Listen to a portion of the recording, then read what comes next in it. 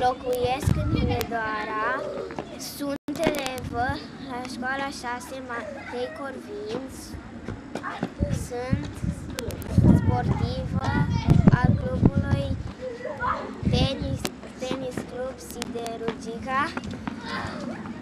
Modelul meu în tenis este Simona Halep. Îmi doresc, eu am început să joc tenis fiindcă vreau să ajung la Roland Garros, dar dacă nu o să reușesc, îmi va lua tata bilet.